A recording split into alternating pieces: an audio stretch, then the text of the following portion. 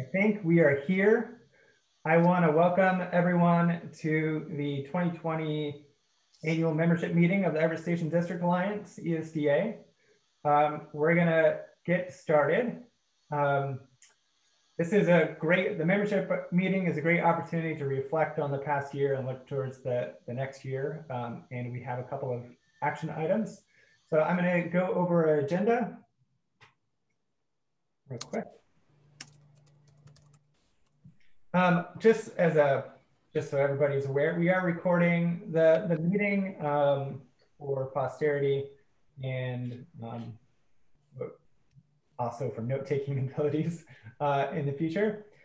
Um, so our agenda for today is to um, first a welcome um, to everybody. Um, I'm going to put up a poll on the screen, um, and then if you could sign in uh, by writing your name um, and potentially your organization, that'd be great. Um, as well as, uh, oh, I got to do something. Hmm.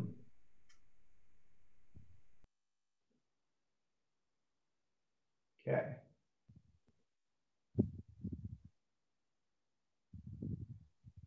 So if you could, yeah, sign in and then complete the, the initial poll on the, um, I think it should be up on the screen now. I'm not sure if you can see it, uh, but hopefully you can. Um, and then get a sense of who's all here, where you're from. And with your name, if you could uh, write in what you're looking most forward to um, once COVID-19 is all over.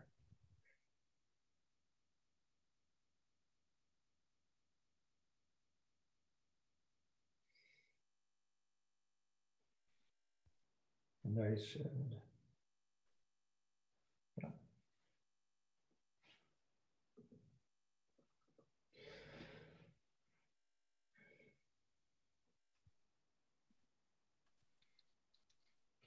I should probably uh, do this myself so everybody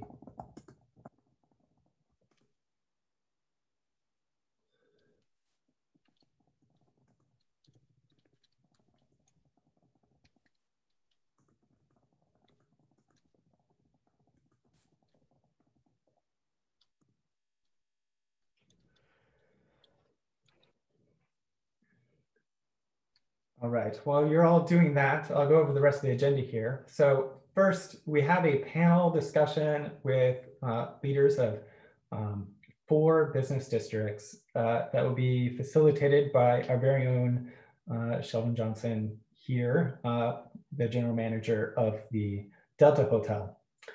Um, I will provide a, a, recap of 2020 of accomplishments and things that have happened in the neighborhood. Um, provide a progress update on the convergence at Everett Station study that we've been assisting with over uh, this fall, provide an update on our financial statements, um, as well as our 2021 budget and our draft priorities for the next year, which will get approved. Uh, both of those get approved at our January board meeting. And then finally, we have membership votes for um, a value statement that we've been working on pretty much all year for the organization and uh, our new slate of board members uh, for our next three-year term of 2020 to 2023. So that is our uh, outline of our agenda. Um, I'm seeing some good uh, comments in the chat. Feel free to continue to engage on the chat throughout the meeting and ask questions uh, there. Um, and yep, so First off, want to thank uh, several uh, contributors uh, within uh, to the ESDA over the last year, including Auto Truck Services, Glacier Properties, MJM uh, Partners, um, the Petersons, Greg Tisdale, WW uh, Wells Millwork, um, Sharing Wheels, um, and Community Transit and Sound Transit, who have each helped us financially over the last year. So thank you for your sponsorships. And I, I think we're already a little ahead schedule, so I'm excited about that. I'll take this brief moment before moving on to the panel discussion, just kind of highlight um, the, the poll results. where we're all from. So uh, almost a third of us uh, are property owners in the district. Um, nearly a quarter are, have businesses. Uh, a fifth are government or public agencies. Um, a quarter are nonprofit or social service uh, NGOs. And then um, we have a few people representative uh, city neighborhood associations, um, and then a few folks just here either by themselves or other. Um, where do people live? Um, most people, uh, a plurality of people live uh, in Everett, but not in the neighborhood. 27% um, outside uh, of Everett, but in Snohomish County, and 33% outside of Snohomish County altogether. And finally, um, how much are you looking forward to being COVID over? Uh, obviously, this was a this was an easy one. Um, it looks like one person really enjoys the Zoom meetings, and I know I do enjoy the Zoom meetings, and will be sad to go, but I'll also be happy that COVID's over. So, thank you all for engaging on that. Um, we have uh, a couple more polls later as well to continue to engage. With that, I would like to introduce our panel um, of Sheldon Johnson, the general manager of Delta Hotel, who will facilitate the panel.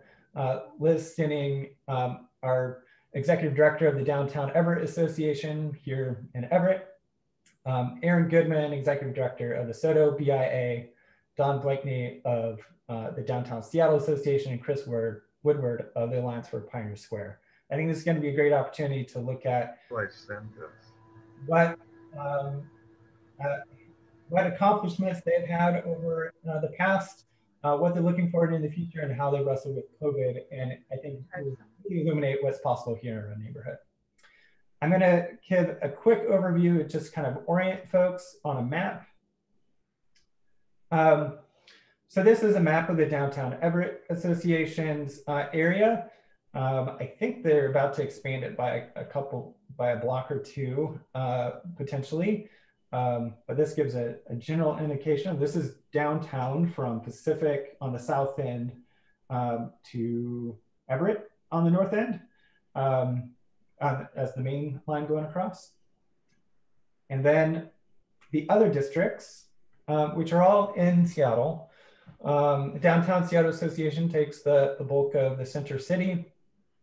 Uh, Alliance for Pioneer Square, obviously Pioneer Square, the orange, and then SODO BIA, the uh, industrial area uh, south of downtown. And so with that, um, I'd like to hand it over to Sheldon. Good afternoon, everyone. Um, let's start with Liz and tell us a little bit about um, your organization and um, kind of your purpose and programs and priorities that you do. Put my name on it. Great, thank you. Uh, so my name is Liz Stenning. Uh, I started working with the Downtown Everett Association last March which was a really fantastic time to start the new position. Uh, before that, I, I worked with the Alliance for Pioneer Square with Chris for several years and also collaborated with Don and Erin at their organizations. So at the Downtown Everett Association, like Brock mentioned, we are, um, we follow the footprint of our BIA, which is 38 blocks in the center of the downtown. And like he mentioned, we border the Everett Station District there on Broadway. Our mission is that we're striving to create a healthy, vibrant urban downtown core. I'll just highlight a few of our programs.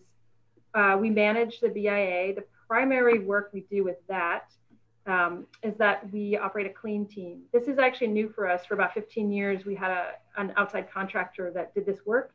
So now, as of this fall, we have our own employees, and we're we launched that this fall. Uh, that's been uh, a good experience, definitely challenging, but we're we're happy to have our own uh, folks out there. We also operate the city's own, the city-owned parking garage called EverPark, and we have 11 employees, some part-time, some full-time. We're split between the office and the field. Most of our crew is working out in the field or in the garage. Starting in 2021, we have become an official Main Street community. So some of you may be familiar with Main Street. It's a national movement. There's thousands of organizations around the country. There's about 35 to 40 in Washington state, and we're a new organization. So that's exciting because we'll receive more technical support and more mentorship for our programs. some of the programs that we uh, that we work on, uh, various events like Halloween or holiday shopping uh, guide. We partner with the city on various events. We also partner with different different partners that run their own own events, like the farmers market, for instance. Uh, we provide small business support in a variety of ways. And then new, th new this year, we have a couple um, a couple of things you may have heard that we we took over the city run flower program, and this was primarily because of budget cuts. Well, mostly all because of budget cuts. And we were able to step in, in the last minute and resurrect the program and keep it going, which we're excited to continue in future years as well. We also started a holiday lighting program. We were able to do some add some modest lights downtown this year, and we're hoping to do some more fundraising and be able to add to that um, in, in, the coming years. So that's just a little bit about us, and I'm happy to answer questions later. Thanks for having me. Thank you, Liz. Okay, Erin, about the same thing. You can tell us a little bit about your organization and some of your priorities and uh, programs. Sure. So my name is Erin Goodman. I'm the executive director of the SODO Business Improvement Area.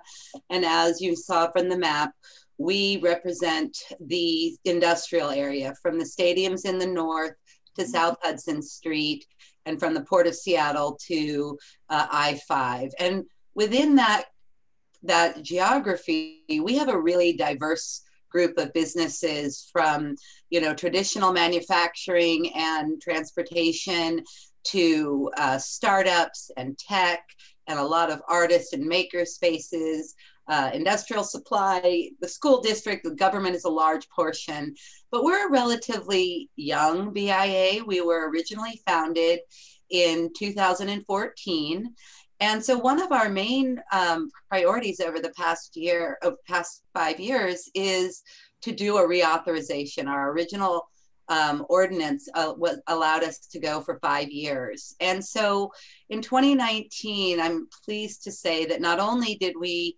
renew our authorization, but we did a significant expansion to the boundaries you see now, basically incorporating all of what is generally considered SODO.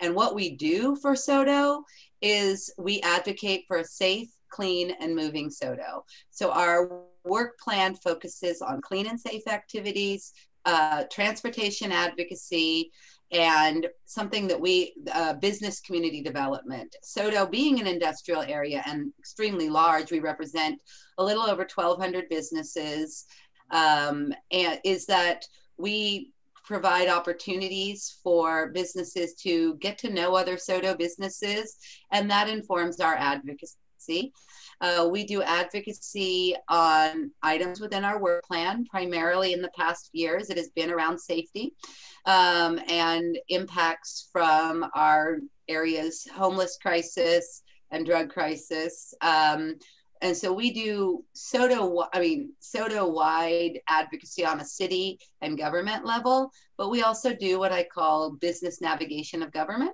uh, which is helping individual businesses with individual issues. We do street sweeping, sidewalk cleaning, and illegal dumping cleanup on demand. We have a significant contract with the Seattle Police Department to provide additional patrol hours in our district. Um, and we also do um, murals and public art. Uh, over the past five years, we have done over 72 murals. If you've ever ridden the light rail from the airport into downtown, you will see uh, the what we call the SODO track. That was a partnership between us and 4Culture, which is King County's art uh, public development authority. And additionally, we have wrapped all of our signal boxes with art and wayfinding. So trying to bring some beauty into a neighborhood that isn't historically or or architecturally significant. Um, but right now, our businesses really primarily need us to advocate for them. And so that has been our, our primary focus for this year. And I think I'll stop there and go to at, answer questions when they come up. Thank you, Erin. How about Chris? You want to tell us a little bit about your organization? Sure. Good afternoon, everyone. My name is Chris Woodward. I'm the Business Development Director with the Alliance for Pioneer Square. I use uh, he, him pronouns just for FYI there. Um, so the Alliance for Pioneer Square, our mission is to preserve what makes Pioneer Square the most authentic, engaging, and dynamic neighborhood in Seattle. And we do this uh, through a variety of different programs, including business development, communications and marketing, advocacy, public realm, and leadership. Um, you know, we work really closely with Erin and the SODO BIA, as well as Don and the DSA team. We also manage the Pioneer Square BIA, um, which covers over 900 businesses, including our ground floor retail mix, as well as upper floor businesses.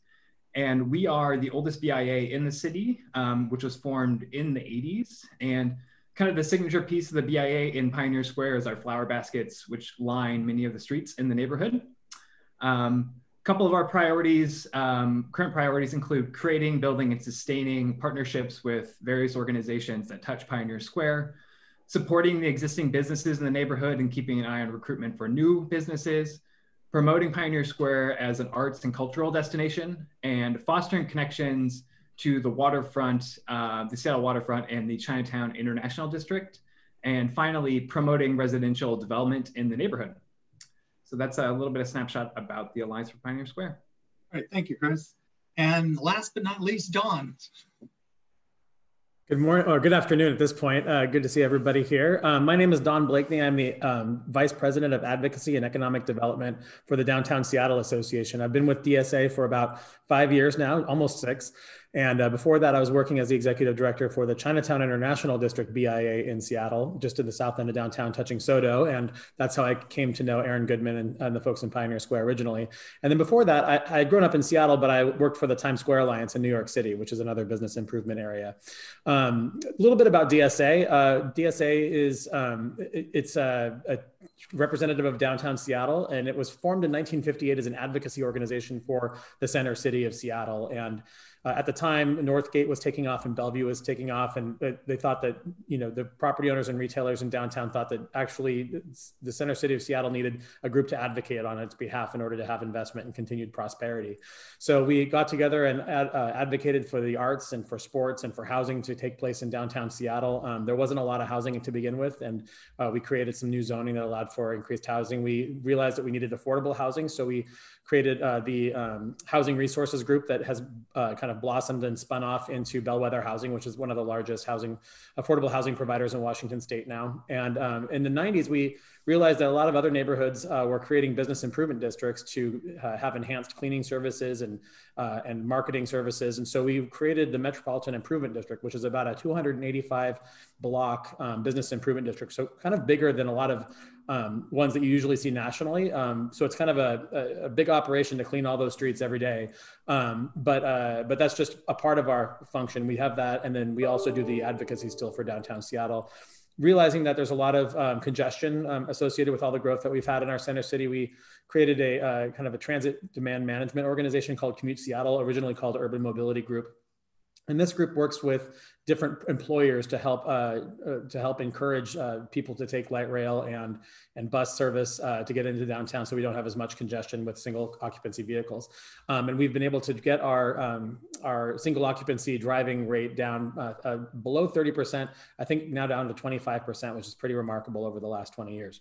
Um, we, after creating the MID, we also uh, looked at some of the other issues that we needed to solve in downtown Seattle, including our parks, and worked with Pioneer Square Alliance and also the Waterfront Group and the Seattle Parks Foundation and created an urban parks partnership whereby we hire employees that can actually activate and beautify the parks on a regular basis with new programming and safety services. And um, it's been a great way to see new people come in and use the park. We bring in food trucks and all sorts of activations, yoga classes, um, dancing events, and it's been great, you know, obviously in non-COVID times, uh, but also some things we can do still in COVID times. Um, Lastly, we uh, have also developed a homeless outreach team uh, that does uh, work with reaching out to people who are unhoused in downtown Seattle um, to try to connect them with housing and services. And uh, it's an ongoing challenge that we face. Our team's about eight people big. And I guess I would say if I had to summarize kind of the work that we're doing, you know, uh, we're advocating on behalf of the 12 neighborhoods in downtown Seattle and we are um, we are really looking at the intersection between public realm, transportation, and economic prosperity.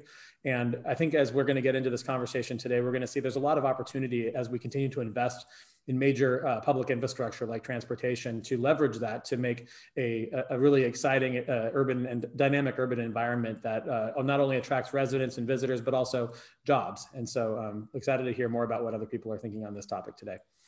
Thank you, Don. So I haven't seen any questions come up, so I'm going to throw one out to start for the panel. We'll start with Liz. Um, So for your organization and then for you, so it's kind of a two part. What are your top successes that you've had and your organizations had during your tenure or in the last 10 years for your organization? And just the top couple and why you're proud of those successes. So we'll start with Liz. Sure, yeah, I, I think one huge success, uh, certainly this year and, and, over the last few years, has bring, bringing in more community, uh, more volunteers just this last year, like I mentioned, we started this flower program within like a month. We really had no idea what we were doing. And we relied on volunteers. I think we had about 60 volunteers that maintained the planters throughout the summer. And we also had this outpouring of people who came to plant. And it was just, it was quite, quite incredible uh, to see so many people come out. And I think a lot of these folks, they're a combination of residents downtown, but also we have a lot of surrounding neighborhoods where people live and they, they really want to invest in the downtown. So that community involvement is huge. And I think that for several years, the organization has been striving to become a Main Street organization. And that for our organization has been a huge achievement to be able to, to do that and um, start really start in full force next year. Like I mentioned, a lot of our work has been around cleaning and, and keeping the downtown safe and, and running the parking garage and this Main Street status really allows us to expand our programs and we'll be able to have some new funding streams with that as well. So. I do have a question for you, Liz. Uh, do you have any residential in SODO? Is it zoned for what? And do you have resistance from residential? So for me, okay. So SODO is not zoned for residential. Um, we do have residents. We have a couple of artists live work buildings, and we also have what are called caretaker apartments uh, that are allowed. Um, this is a hot topic right now. Currently, uh, the Seattle mayor has a a whole panel trying to kind of discuss zoning, uh, you know, and I am in a lucky position because the ordinance that created us requires me to be neutral on land use choices. and I think that that has made me more effective because I need to work for all of my ratepayers and not be specifically beholden to developers that are trying to build housing or to you know my industrial groups they both work with me because i'm not taking a position on this hotbed issue um, but what we know about SODO and what this pandemic has really shown us is that we're an industrial area. Industry has changed. So, you know, we don't have as many, um, you know, smelting and, you know, forging, but we have a lot of maker space, uh, sign shops, commercial kitchens. Cannabis is huge in SODO. We have over 82 active cannabis permits that uh, include 10 legal retail, um, bakeries, processors, and growers. So that's a large industrial presence in SODO these days. Um, and I would say that, you know, like Liz, my biggest accomplishment is is bringing that group together because, you know, when you have people that are, you know, in their work lives, maybe on the opposite side of an issue, but you can get them into a room and give them a glass of wine and say, what do we agree on? And let's focus on that. And we've been really successful in doing that over the past five years. And when I started, I came like Don from another BIA. I used to run the U District BIA up in the north end of Seattle. And when I came in, 90% of the people I'd talk to be like, I pay too many taxes. My city should be doing this and why do we even need you? And we have worked really hard over the last five years. And my common response to that question is if you don't feel like you're getting enough, you're not calling us enough. And getting people to understand that what we're here, what we can do, and that they can call us and and really you know when we did our reauthorization the state requires 60% we had 75% of our existing people say, yes, this is a good thing, which is pretty huge when you're asking people to pay money um, on an annual basis. So I would say that that's probably our biggest success. Okay, Erin, I got a follow up for you. How's your working relationship with the city, and can you describe your relationship with the city? Sure. Um, we work very closely with the city from the department level to the mayor. Um, it's challenging. I mean, I have a very good relationship with the mayor's team. I have worked hard to have good relationships with city council members, even ones whose policies I don't necessarily agree with. I still have the ability to give them a call. Their staff will take my call.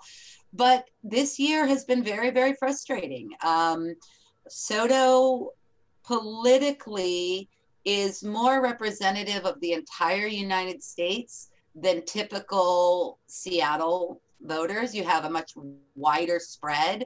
And we suffer with a lot of crime and a lot of impacts from the unsheltered um, population that's on our streets, from drug crimes, and, you know, we have probably one of the best relationships with the Seattle Police Department. And I would say SODO gets incredible service, but there's limits to what they can do. And um, I have found it to be quite frustrating this year to be able to even get things that I used to be able to do and get, you know, some relief for some of my businesses. I'm not able to do this year. And that, and that's hard. Um, so I keep a good working relationship, but I don't know that our ability, and I work with the other BIAs, we do a lot of group advocacy. Our ability to move the needle has been much harder this year. Thank you, Erin. I'm going to go back to Liz. Same question. How do you, what's your working relationship with the city and can you describe how you guys work with the city? Yeah, I can say that, you know, coming from Seattle and coming into Everett, like like many of you who are in Everett, it's it's just such a different experience. You know, it's it's a much smaller place. Um, and I, um, we partner a lot with the city's economic development team. Um, just in, we're in frequent conver conversations with them and uh, work very closely with them. I, I just feel so fortunate um, to work with them. Uh, and you know, the city council, it seems to be, it, it again, it's just so different from Seattle. Uh, the, the council members really are up to speed and really closely connected with a lot of the issues that are going on in Everett. Um, yeah, so I, I would say uh, I can't say what it was like before, but this year I feel like we're we're working with the city very closely and trying to collaborate and especially helping our businesses downtown. All right, thank you, Liz. Uh, Chris, same thing about um, kind of what you're proud of with your organization, your successes, maybe for your organization, and then for you in the past few years. Right. So yeah, I'll think I uh, will identify kind of two public realm projects um, that have occurred in the neighborhood in the past 10 years that are worth um, speaking on. The first is the kind of revitalization of Occidental Square Park, um, one of our key public spaces in the neighborhood. And, you know, Don kind of mentioned at the top the um, urban parks projects. Um, it, it, Occidental is a great example of that. So we saw investment from Weyerhaeuser um, where they built their, you know, filled the new headquarters right alongside the park. Um, and with that came a nice um, first floor retail opportunity for a variety of businesses. So a couple, um, you know, primarily restaurants there. And with a partnership with the Downtown Seattle Association, that park has been incredibly activated um, since that partnership began um, with buskers on a regular basis, uh, activities for folks to engage in, public art. Um, and, you know, right now there's beautiful lights that are hanging up there and, you know, it's a still a, a beautiful place to be in. Um, looking towards the future, um, there's a new timber pavilion um, that has been built in Occidental Square Park that's going to be open to the public relatively soon, um, a covered space where all that activation can happen and the park staff can um, provide services and re resources for visitors of the park. And there's also a children's play space that's also um, soon to be opened in the park as well. Another public realm project that's worth mentioning, and I have to put on my uh, imaginary hat and then tip it to Liz, is the um, alley revitalization project. Um, and so Liz was very much leading this project prior to her tenure at the Alliance for Pioneer Square. But when Liz joined our team, um, it got folded into the Alliance's book of work. And so there's two um, alleys in particular that have been refinished and kind of designed to be pedestrian pathways. Um, they're is a program to make sure the alleys are clear of trash and debris using clean, uh, clear plastic bags. And then again, looking forward, there's a variety of different developments in the neighborhood who are incorporating that uh, focus on alleys as a pedestrian pathway. Um, so those are kind of two public realm projects. Um, personally, I think uh, within my tenure at the Alliance for Pioneer Square, we've seen um, again success in that stakeholder engagement, and that's the stuff that I really love um, because I think you know together folks can accomplish more. Um, and again, it's both listening to folks in the neighborhood and also providing those resources and ensuring that two-way communication is really clear and super active. And um, it's a little less tangible than an you know an alley being repaved or a pavilion being built, but it's those partnerships that really um, I think drive the success of the Alliance for Pioneer Square. Thanks, Chris. I do have a follow-up. How has the changes in the SPDF, uh, the police department, affected you and your organization? Yeah, so there's um, we had a community police team that would be in the neighborhood very often. We had two community police officers who were um, great resources both for the alliance but also the businesses in the neighborhood. Um, since um, earlier this year, they've been kind of redistributed into the SPD's workforce, um, but we continue to have a good relationship with um, you know Chief Diaz, the current police chief of uh, SPD, as well as a variety of different folks in the Seattle Police Department. Particularly, they have a, a uh, community um, crime prevention coordinator, and she's such a good resource helping our businesses, you know, design their spaces to make sure they're safe during business hours and after hours.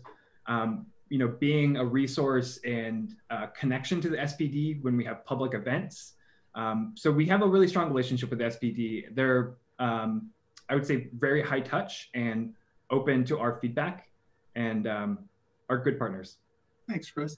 Uh, Don, I'm going to throw out um, to you first about your successes, and then I do want you to talk about your relationship with your organization in the police department. So, yeah, happy to. Um, you know, I, I, think the Urban Parks Partnership is one of the biggest success uh, stories from the center city and that was the whole idea of it being a partnership is that we partnered with neighborhood organizations like pioneer square so i think i won't cover that in great detail but i would say that's one of the biggest wins was really be able to rethink how we invest in parks. We're seeing uh, parks that don't have that kind of investment, um, like Denny Park and Cal Anderson Park, and they have incredible challenges that without a steward and a, and a strong planning and funding and, and agreement on the solution, they just continue to suffer and, and not deliver a safe and welcoming environment. So, anyways, that's one of the wins that we've had, and we're going to continue to develop that over time. I would say another example of something that I worked on with my team, and it was a partnership also, was the Third Avenue vision. And I'll throw I'll throw that in the I'll throw a link to at least in the in the uh, chat here. But um, you know, the Third Avenue vision was a kind of a realization that Third Avenue is the real center spine of our downtown area. And it was also having all of the challenges that we were seeing. And we wanted to kind of, we've been advocating for public safety improvements and urban design improvements, but, you know, we wanted to really dissect that and understand really what, what was going on on Third Avenue to really understand the issues at play there. And so we did an analysis. We hired a, a traffic, uh, you know, we, a transportation firm to help look at what was going on with the transportation. And what we learned is that we were moving more buses with fewer people and less sidewalk space than any city in North America, even Mexico City. Uh, we had, I think, over uh, around 52,000 buses, a, uh, sorry, riders a day and over 300 buses an hour. And so it was just this crazy congestion point. If you think of 300 buses an hour, like that's a lot of buses. It's a wall of diesel and and metal. And what it was doing, it was kind of suffocating the sidewalk life, and it was also creating crowds of people waiting for their bus that would go ahead and hide other negative activity that was going on. So we started to dissect this work and look at how we could peel it apart and bring partners to the table to solve some of these problems. For years, so many of the partners owned only 10% of the, the, the stuff that's going on there. So the buses were eh, Metro, but they only owned their bus stop, right? They could only make that as nice as they could you know, City Light owned the lights, um, the property owners owned their property, but it wasn't coordinated and there was a lot of frustration that if well if i did my 10% no one else is doing their 10% so we decided that we will bring together a community conversation around how we could lean in on both the public and the private side. And we uh, we created this third avenue vision that really tried to take advantage of the fact that we saw $500 million worth of permits on this avenue throughout downtown. And they were all making decisions and design decisions about how to interface with this avenue. If we could align that money and that investment by getting commitments from the public sector to do something a little bit different, we thought we could have a bigger impact. And so we put forward this vision, and it's slowly been, you know, it got a little bit side uh, sideways with COVID, but I think there's still a commitment to make this a really desirable corridor. There's major luxury housing that's going in. There's new public facilities going in, and the light rail expansion to North Seattle will be coming through. Um, comes right through here to Westlake Station, but also you have. Uh, um, you have the new light rail line that will connect with this when it, ST3 rolls through downtown. So there's just all sorts of opportunity to capture um, the benefit of some of these major investments that are coming through. And by like, just like Chris was saying, if you can get people on the same page and really working as a team, we had about 75 people you'll see at the end of this document that have all been participating, public and private sector, to really try to row in the same direction. And um, you know, we have a big hole to climb out of with the with the recession that we're going to be facing with all of the businesses that have been closing. I think 150 have closed in downtown already, but I think coming back out, aligning on what we want to see there will be a really positive step forward as we try to rebuild this corridor and the center of our city. So how do how, what do you attribute to the success of you getting those 75 people or 75 organizations to really help you guys do what you need to do? You know, uh, it was it was a lot of skepticism. We, we said, hey, can we do this? And, and then you know, everybody had at least three copies of a Third Avenue plan that they'd worked on, you know, before that didn't go anywhere. So we had we had to come with kind of a mea culpa. We've been involved in half of those efforts, I imagine, and you know that that that we really needed to bring more of the public sector to the table and the private sector together to kind of show what they could do in totality. And so we what we did to establish some of that um, some of that goodwill and trust at the beginning was to set up a quick wins team. And we'd been meeting with Commute Seattle. The board of Commute Seattle is all of the transit agency directors. So you have the head of Metro, head of SDOT, head of um, Sound Transit, and um, you have the head of the planning department also. And so those folks actually have a bit of uh, control over what happens along that corridor.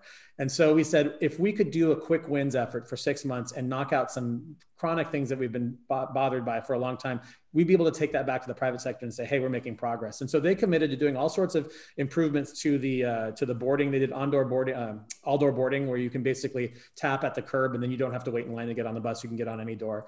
They rolled that out. They also um, got rid of a few useless structures that they weren't using. They were old infrastructure that was kind of sitting there, but no one had the budget to take them out. Um, SDOT and Metro worked together to get those out of the ground and, and rebuild the sidewalk again. Um, it was just great to we uh, we had 24 phone booths that didn't work. Um, the only thing that worked on the phone booth that said this phone no longer works, and the and the contractor had left the state, so there was no real way to get them out of the ground uh, SDOT came and took them out. And it was that kind of commitment to just cleaning up the environment and making a small near term investment that really builds some goodwill with the property owners. They came to the table and then they said, well, I could do this, I can do that. Some people put new uh, lighting on their building. Some people decided to work with us on tenanting their ground floor. But it's that kind of kind of collaboration and spirit of goodwill that I think kind of ping pongs back and forth and kind of builds a coalition to actually get some of these things done. Okay. How about your relationship with the uh, Seattle Police Department? You know, so public safety, at least on Third Avenue, is a big part of that story. Um, SPD is, you know, a close partner in downtown. We hire SPD, like uh, Erin was mentioning. We have uh, emphasis patrols that we partner with them on. I think it's going to get increasingly harder as you know they have less capacity um, and they have to focus on 911 response. They might not have as many resources free to work with us, but um, we um, just even right now, actually, um, I'm missing, but we do host a monthly meeting with downtown stakeholders and security uh, for buildings that is called the Downtown Security Forum. And we co host that with the police department to really share information and kind of talk about trends. They also have their normal public process for talking about downtown crime, uh, crime trends, but this is a little bit more focused on how we can collaborate and elevate concerns of private property owners. And then um, we've uh, also had some uh, we also hire private security to be in the parks as part of that partnership, and that's and sometimes and to some degree uh, coordinated with SPD. Um, it was one of the SPD folks that we had hired and was on duty with us that was able to get to that mass shooting that happened um, on January 20th. They were right around the corner and they were able to be there in like 30 seconds. And so, I mean, you don't want to plan for those days because they're far and few and far between. But it was nice. To, it was helpful to have that presence on on on the ground there when that happened. I would say that we just we aren't in a situation where we have the foot patrols of yesteryear, um, where you have cops walking around doing the kind of proactive relationship building, and we'd like to see more of that. Um, but again, I think that there's a lot of questions on what direction SPD is is headed. Um, and I think we'd like to be there as we decide, as we work together with the city to redesign policing. Like, how, do, how does that work so that we address the issues like the drug market on Third Avenue, et cetera? All right, thanks, Don. Liz, how about um, your organization working with the Everett Police Department? Yeah, I think that we, uh, I can say that this year anyway, we work fairly closely with, with the police department. We do have patrols and bike patrols, and we see them often. Uh, they're frequently walk by the office here, and we get gotten to know them by name, and they're very helpful in, especially in, um, they know everyone. You know, they know everyone out there. Um, they will also go and speak with businesses on our behalf or you know there i think that that the everett pd has been a huge help uh, downtown. Um, and I, I i don't really know what it was like downtown before covid uh, but i what i understand is the everett police department has a great reputation for going through a lot of trainings and they're getting a lot of um, deep training within their police force. Uh, so uh, I also personally have had to call uh, 911 a couple times, and I've found that the response is very fast. Uh, and I've, I've been really, it's, I've been really impressed by their, the speed with which they can react and, and, and come. Uh, that's just my experience. Okay. In my engagement with the, the Everett Police Department, they've been amazing. When we call them, they're here. Not just one car, we usually get a couple here you say we don't really need to, but it's nice to see. Um, I do have another follow-up question for you, Liz. Um, what does Everett downtown need to become to be a preferred place to live? That's a great question. I've actually been asking people about that. I, I, uh, I would love to do a strategic plan for downtown Everett, but I, I feel like clearly, you know, more people living downtown, and there are uh, some uh, uh, there's construction that's happening right now. There's construction happening in the future. So I think we'll be seeing more and more people downtown. I think having more businesses, whether it's retail, restaurants, and not just more businesses, but also having a real connected, a connected community of businesses. You know, I came from the Alliance for Pioneer Square, like with Chris, and the BIA is um, the businesses pay into the BIA there. So I was really used to working um, with all the businesses. You know, we knew we knew all of them, and I I, I could see downtown Everett really having a strong community amongst our businesses. Um, and then of course transportation. You know, we have light rail coming. It's not coming maybe as soon as we like like, but it's coming. And I think having that connection to the station district and to the you know to light rail is just going to be a, a, a massive uh, massive improvement for all of our connected transportation. Okay. Um, Erin, I'll start with you, but this is a question for the whole panel. Um, how does your organization address the homeless uh, situation in each of your areas? So we can start. We can start with Liz since you're here. sure. Um, so this uh, just this past, I would say, few months, uh, we started meeting weekly with some representatives from Snohomish County as well as the city of Everett and I think originally we started meeting, maybe it was once a month, and we decided to meet every week. And so we're starting to really create some synergy and, and uh, collaboration with, with the county, with the city, because for those of you who are familiar with Everett, you know that the, the county the county campus is downtown Everett as well as the city's facilities, and so there's uh, there's a lot of city and county owned properties. So um, it's it's been really great to um, to get to know those those services and what they're doing because I think before we started meeting regularly, we weren't as we weren't as sure as what's happening with the temporary shelter or with um, cleaning up um, downtown. And so it's I can say that we're starting to make a lot more inroads as far as understanding the situation and the city of Everett has and the county have been doing a lot as far as their they have more funds available to, they're looking into temporary shelters as well as long-term shelters, as well as a, a whole variety of um, projects to address the homeless situation. Okay, thanks. How about you, Erin?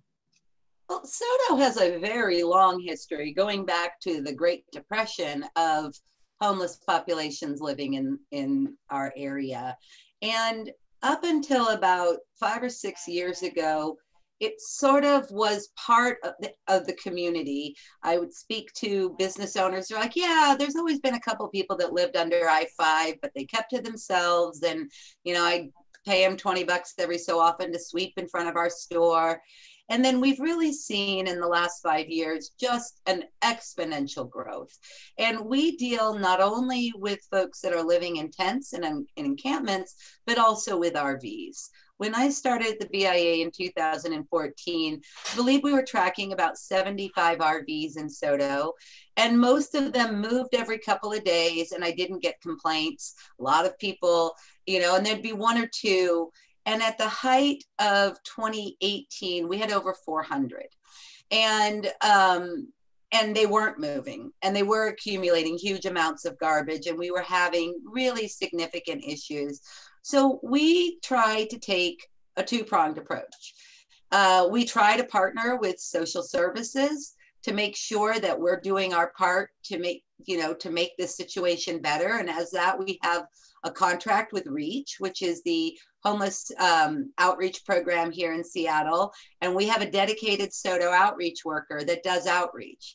But we also look at ways to address you know the rvs was a pretty significant issue on sixth avenue south where literally it was wall to wall. Nobody could park to get into a business and this is surrounding ups so place where there's a lot of movement of trucks and the need for trucks to park. And so we did work with the city uh, to install some time limited parking um, so that there would be the ability and that has been very successful. Um, we have you know we have worked with the navigation team up until they were disbanded very closely because we understand that we need to be part of the solution, but it also is placing an unfair burden on certain businesses that have to bear. I mean, I had a business that was surrounded on three sides by an encampment and a pretty pretty significantly um, aggressive group of folks and they were throwing needles over the wall i mean it was pretty bad and so we've we we have definitely advocated for moving encampments. We actually move encampments ourselves, which is bizarre because we have private property and encampments that are on private property we can move. Um, so, but we try to balance that with giving people time, giving them offers, you know, connecting them with social services so that they have an offer of shelter. Um, but all of that kind of came to a, you know, I would say in December of last year, we were in a manageable position. Um, businesses would call me and I'd be like, you're on the list. It might be four to six weeks, but you're on the list. And they could work with that. And then in six weeks, there would be a cleanup and then, you know, go to a different area of SODO. Um, but nothing's moved in the last nine months and folks are feeling pretty abandoned by the city right now. Yeah. All right. Thank you. How about Chris? Yeah, so similar to SODO, Pioneer Square has a history um, of you know homeless a homeless community. Um, we have a really high concentration of social service organizations in the neighborhood. Um, so yeah, more than more than you can count on one hand. Um, in a similar to what Erin reported, there's been a proliferation of that of homeless folks in the count um, in recent years, and the COVID nineteen pandemic recently has intensified that. And so part of that is, you know, the folks who would use the services in the neighborhood who would have shelter, um, those shelters are not at the same capacity in which they once were. So more people have been pushed out into the street. Um, and it really is a burden for the neighborhood overall, businesses, residents, and visitors. Um, you know, we have to, as the Alliance, push back on a perception that Pioneer Square um, is unsafe and, you know, has a, a chronic homelessness problem. It's something we recognize um, but we work actively to address it and um, both that perception, but also the on the ground reality. And so that looks like, um, again, the, those partnerships, especially for the on the ground piece. Um, you know, we have a partnership with uh, Don's MID team, um, who have homeless outreach workers um, in their kind of footprint of their service area. And then you know, most recently, and something I kind of want to just talk about really quickly is a new program um, that's being implemented in Pioneer Square and also the Chinatown International District, which is led by an organization called the Public Defender Association, who has a long history of um, doing outreach services for folks and providing um, connectivity to those good services.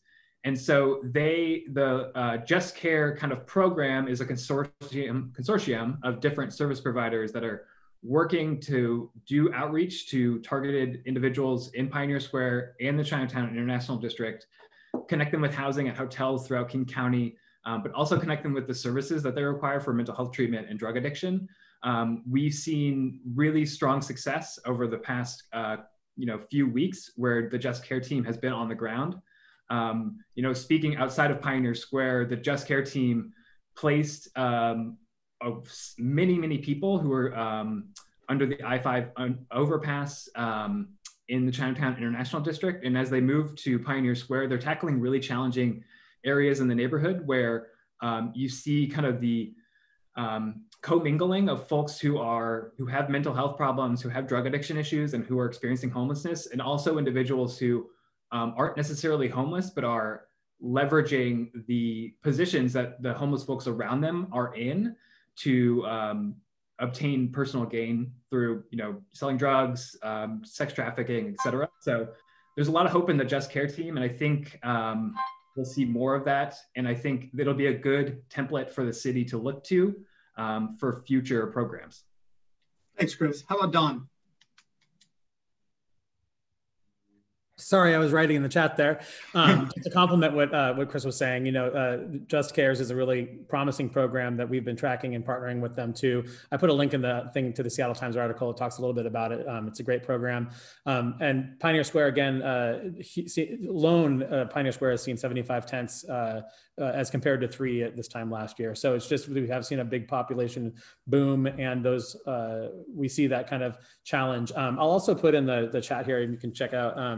We have an outreach team, like Chris mentioned. Um, uh, we have about eight people on our team that goes out. This is funded by the Metropolitan Improvement District, and again, works closely with these different service providers in downtown Seattle. And uh, I, will be honest, I think we work with some of the folks who are more easily um, uh, kind of shown back into housing and, and, back on track. We partnered with the um, with the Millionaire Club to do a job program, which was which was great. We uh, actually hired folks um, who had been experiencing homelessness onto our clean team, and we're able to get them jobs in downtown. Um, and that was a program. I'm not sure how many total people have come through that program, but it was fairly successful. And um, so, trying to find a way that we can use our programming and our and our um, and our work that we're doing to try to uh, also plug into the needs of the people who are unhoused on our streets.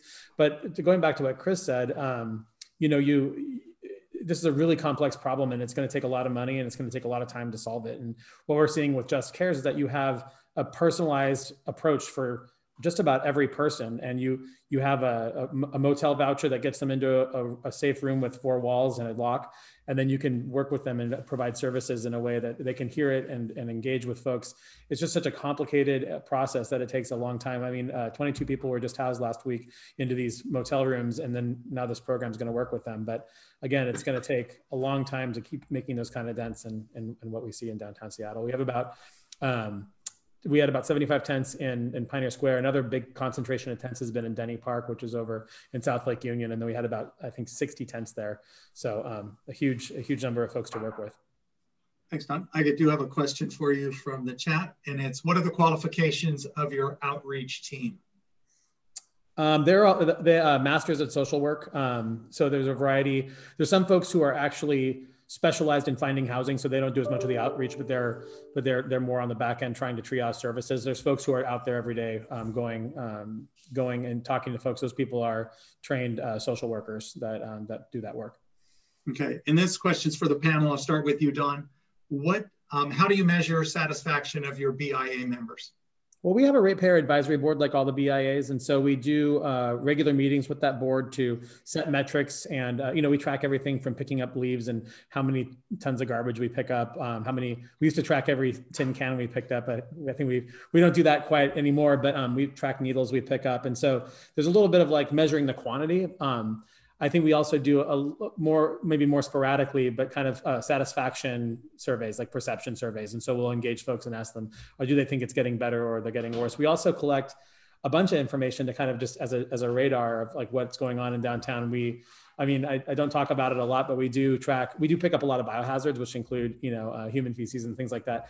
We are able to kind of track that in, in real time. And so you can kind of see what's happening on the streets and what we're getting. And, and you can kind of tell if there's things that are uh, kind of spiking or having an issue. And so we were able to look at that. Um, but again, I think it comes down to explaining kind of why you're doing what you're doing and what problems are at, in place. I think the more information folks have, the more they can appreciate the complexity of the issues that we're dealing with. And, you know, cleaning is a part of it, but it's also about getting people inspired in the other solutions that you have to fight for. All right, thanks, Don. Liz. How do you uh, measure the satisfaction of your BIA members? Yeah, I would say um, what, what Don just said, we have tracked um, a lot of the things he mentioned. Uh, this year, we're going to actually start using the, the software that DSA uses to record all those things. So we'll have a lot more accurate data Uh, so we're excited to start doing that. And as far as um, the sort of general BIA satisfaction, I, I don't think, uh, I'm not really sure that the organization has done like surveys per se, um, but I would, what I'm interested in doing um, in the coming years is get just getting more information out there. Um, for instance, what I what I understand is that the bill that goes out to the BIA owners, owners has really no little information, um, and so you know providing more information to the ratepayers about uh, what what's going on and just providing more um, check-ins and meetings and touch points. All right, thanks, Liz. How about you, Erin? Well, as I said, we just went through a reauthorization process, which is kind of the ultimate test of, of whether we'd been doing a good job or not. Um, but we, um, in addition to doing all of the communications and outreach uh, with our folks, we do um, have a survey program and an annual meeting with an opportunity for folks to weigh in and let us know. Um, and at this point, um, we continue to receive thumbs up or, or, thank yous for being someone that's in the place. So, yeah. Thanks, Erin. And Chris, the final question to you. Yeah, you know, I would say um, we don't have a formal kind of quantitative measurement system, but we really rely on that qualitative piece. So, um, you know, we're always trying to demonstrate the value uh, that the Alliance can provide to the neighborhood. And, um, you know, we see kind of um, satisfaction in the form of engagement with our activities. So whether that's, you know, open rates on emails, attendance at events, um, but also, um, you know, verbal feedback is really important too. So when you're having those one-on-one conversations with business owners, property owners, um, residents, you you hear, you know, how they feel um, about what we're doing for the neighborhood. Um, and then I guess I would just tack on the final kind of piece for feedback that we like to loop into a lot of our programming is just a feedback form. So if we're doing an event or an activity, um, asking people how we can improve next time. Um, I think that's a, always a really important question to ask, but generally it's uh, really falls into that qualitative uh, category. Thanks, Chris. And I want to thank the panel for their time and their answers. And I'm going to turn it back over to Brock. Fantastic. Thank you, Chris, Don, uh, Erin, Sheldon, Liz, for a great panel discussion about what you do and your successes and hopefully continued successes as soon as COVID is over. You know, we can go back to more of business as usual for your organizations and everybody else. So um, it, it, generally, you know, when we're able to do panel discussions in person, you're able to give physical gifts in person. Uh, so we'll have to figure something else out once uh, we're back to meeting in person. So thank you uh, for your time today, for sure. Um, with that, I'm going to uh, switch screens. Everybody, feel uh, panelists, feel free to stay for sure and learn more about what we've been doing. Um, but we'll shift to kind of our 2020 um, accomplishments and things that have been happening in the neighborhood. And I have to share the screen.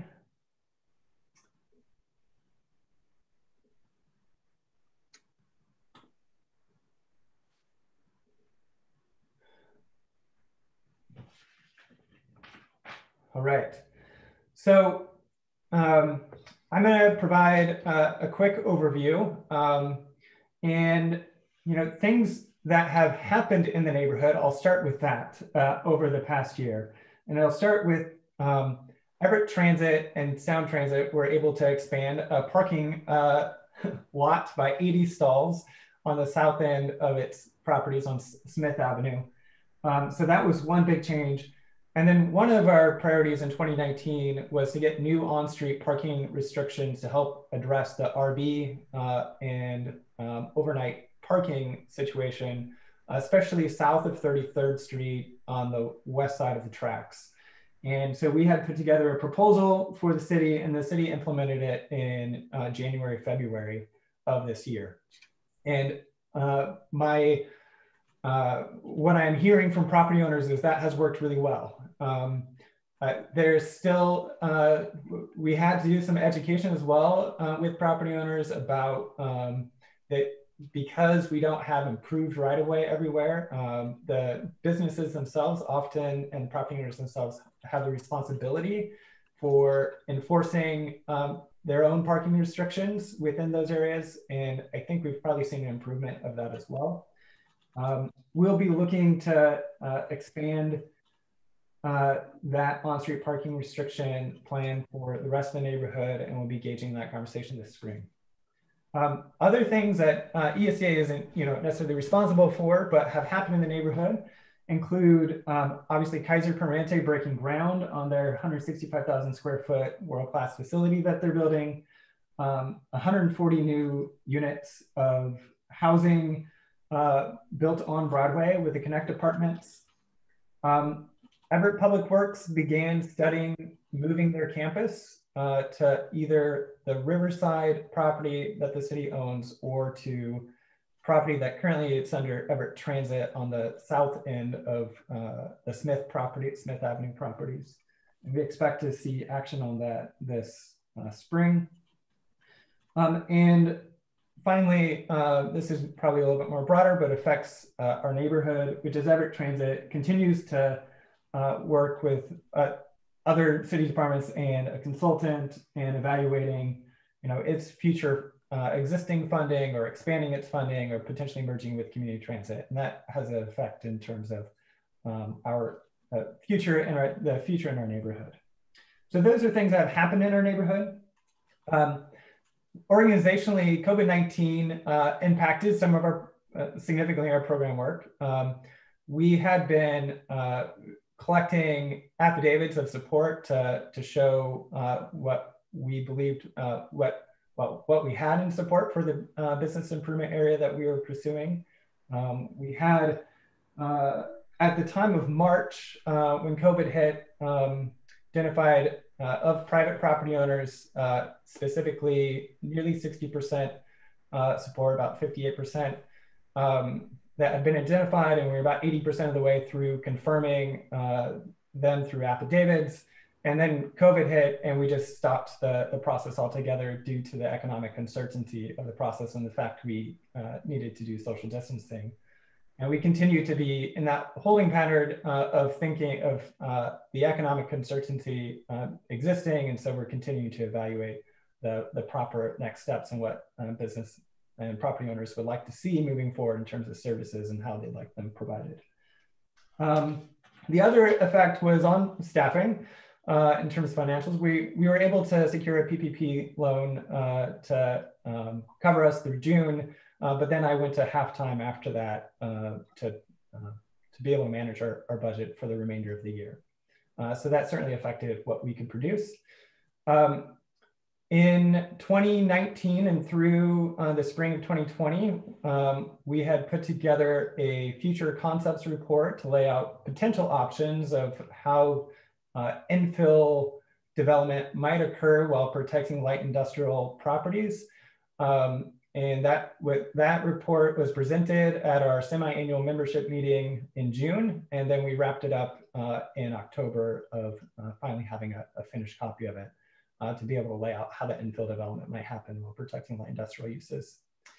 At our June meeting, we also um, passed our first uh, official organizational statements around our mission and vision and um, continued a conversation around establishing a value statement, which later today, hopefully we adopt uh, finally. So uh, kind of really instrumental documents of saying who we are as an organization.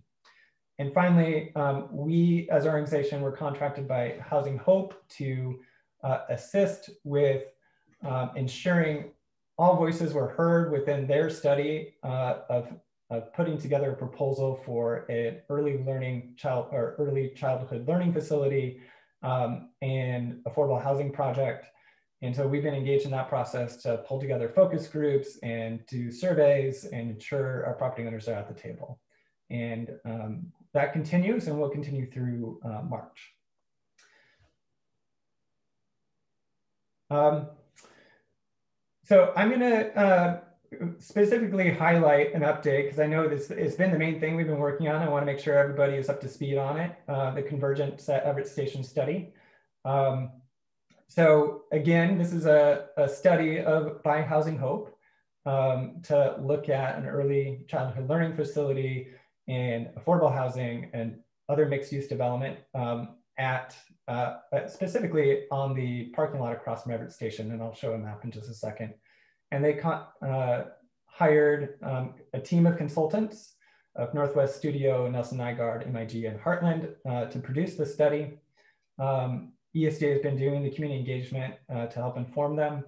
And then the Urban Land Institute will be doing a secondary study as part of this project um, to look at some other factors as well. Um, just a bit of background, just make sure you know why this is important. Um, the uh, Puget Sound Regional Council uh, through Vision 2050 has uh, targeted growth for Everett um, to increase by 87,000 new residents and 89,000 new workers by uh, year 2050, and to prioritize that to be next to Link Light Rail, uh, which uh, is um, scheduled to arrive in 2036.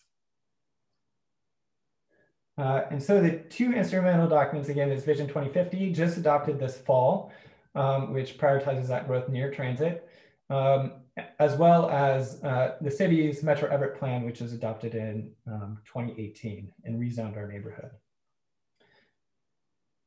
Um, with the study has two sites. The first is the, the west site, which is in yellow on the screen, um, which is the parking lot uh, across from Everett Station. Um, and uh, this is a site that Housing Hope is most uh, interested in in terms of thinking about uh, an early childhood learning facility and affordable housing and mixed use development. Um, it is uh, kind of in between the two station locations that have been put on the table uh, for uh, kind of officially. Um, Sound Transit's ST3 plan uh, providing a representative uh, station location, which is just south of the uh, station building within the, the bus turn bays. And then the city of Everett, through the Metro Everett plan, identified a preferred location at Pacific and, um, and McDougall. And so, you know, uh, those are that process of determining the location is something that Sound Transit will do over the next five years. Um, but uh, those are the two identified locations. And then uh, Housing Hope is looking at this block. On the east side, um, in talking with the city, uh, the city about this study, the city requested uh, that the study include their east site properties um, along Cedar. And so they've been incorporated into the study for the consultants to look at as well. Um, the timeline for all of this, I do have on the timeline on the bottom just to kind of clarify when things might happen. Um, so the, the dark blue line of schedule is Sound Transit's uh, Everett Link timeline uh, under ST3. And uh, between 2021 and uh, 2025, 2026, um, Sound Transit is scheduled to do planning work and that includes the environmental impact statement and alternatives analysis of what alignment and station location should uh, the uh, project should go to. After that, it goes into design uh, of the alignment uh, from Lynnwood to Everett and the construction from 2030 to 2036. Uh, that's kind of in, that's totally independent of anything that is being that the city has control over or ESDA or Housing Hope. Um, the yellow uh, bar there uh, indicates kind of the hoped for uh, timeline for Housing Hope um, of where there's going to probably be, be, three or four years of planning and design work followed by construction. Um, and funding and all sorts of things have to work out to make that work. So there's a rather large dark color of yellow or uh, solid color of yellow to indicate uh, a long period of uncertainty as to when things might happen on that front. And um, the bottom there is thinking about what would happen to the 17 acres on the east site. And that's really uncertain. Obviously, the city is going to make a decision uh, relatively soon about whether they would like to uh, move the public works site to a, a different location. Um, but the actual change of land use uh, is likely much longer uh, into the future. Um, and so hypothetically, it's, it's probably more closer towards the timing of the opening of the light rail station that that land would actually change to something else. Oh, gotta go to the right screen. Um, the study itself um, is uh, a it's funded under a biennial grant, so there's a two-year period. So the, the study is really just uh, ends up being compressed into uh, a year or less um, of starting in August and then ending in March of next uh, spring um, to provide some concepts of how the sites could be developed. Um, and so the consultant from August to September, September was engaged in kind of background research and discovery. We've been doing community engagement from October to mid-November, and we will continue to do additional engagement um, throughout the process, uh, including with our property owners and industrial lands owners. Um, and then in we expect a draft uh, report um, in early January, and we will follow up uh, probably in late January with a community open house uh, for you to provide feedback back to the consultant on the draft report, which will they will then incorporate that feedback into their final report in March. And we will do a final open house uh, on that so you can see what's in the report. So again, the two sites, um, and uh, we have had uh, eight focus groups uh, to help go through the, the specific elements of the study um, to make sure that the right people are helping to, to shape those things. But really of high importance is the industrial uh, areas and the adjacent property owners. So uh, we made sure, even though it wasn't uh, part of the, the study's scope, that we did the focus group. We've had the Uh, we've been doing outreach with our adjacent property owners um, and that um, we're making sure that the, uh, we're distributing surveys to make sure that um, the concerns and needs uh, are included within the study to help shape uh, what uh, anything moving forward would look like. Um, and so that, that will continue to, as we move forward. Um, I this is wrapping up, but um, again, the timeline here for the, the project is for anything happening is the yellow line is, is really far out and the engagement process, we're kind of still in the middle of, of doing outreach um, and stakeholder involvement. Um, ultimately, the study will come up with some alternatives of, of ways that uh, the sites could possibly uh, uh, be developed. Um, and so your input is really key to making sure it works with our adjacent property owners. And with that, um, I think that's the end of this section of kind of updates. Um, uh, Brock, let me jump in here. That'd be good. Um, I want to clarify how Housing Hope uh, got involved in this um, Housing Hope is a multifaceted uh, nonprofit corporation that does housing and provides services for the people that are housed in its program, programs. It is a Snohomish County uh, initiative. It's uh, involving 18 city governments and, and uh, county government. And um, one of the key programs Housing Hope uh, operates is called Tomorrow's Hope Child Development Center which is a combination of childcare and early learning. And it's in a building that was a Sizzler restaurant and uh, has seen its day. It is uh, undersized and it's um, not doesn't have the spaces and capacity that's needed for the program. So Housing Hope was looking for a location for that program. And uh, turns out that there are now five light rail stations in the Puget Sound Link system that have sited early learning and childcare programs. Um, and three more that are right nearby the light rail stations.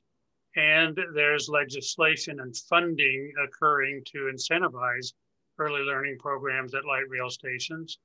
And um, uh, quite a momentum happening in the King County area in this regard. And so Housing Hope uh, began considering whether uh, like an early learning center could be sited at the uh, near the transit center so that uh, uh, uh participants re requiring childcare or early learning programs could easily access the location.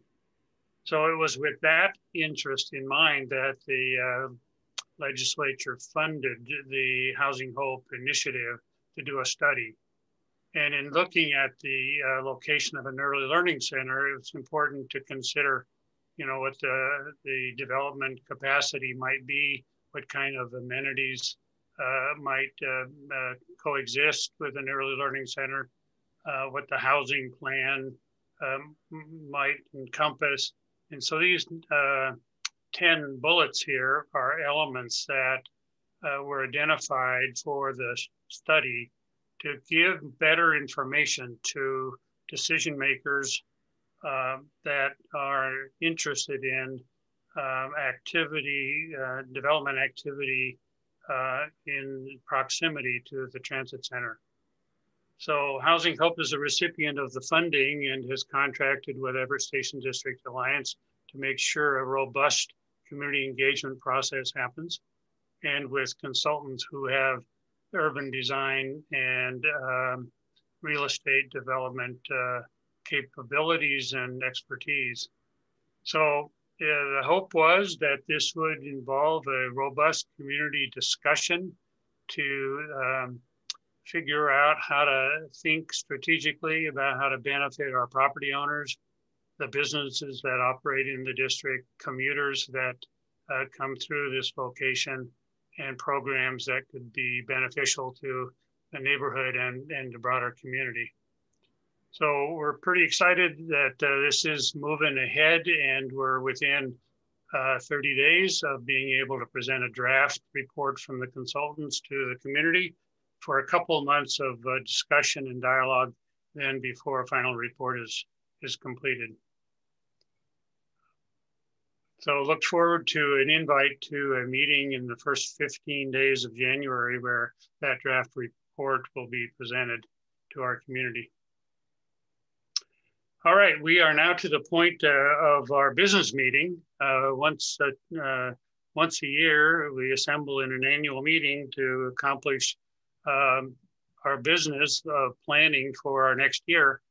And uh, we have a number of items that we want to go through to make sure our membership is up to date. Um, so we're going to start with the uh, financials for the year. It's been a tough year with COVID. Uh, there's been a lot of uh, uh, fiscal challenges. It's been a hard year to operate a aggressive fund development program. Um, so here's a look at the profit and loss for the year through November. So this is 11 months of activity. And uh, you, you, can see that uh, the largest uh, uh component in the uh, revenue stream has been grant income.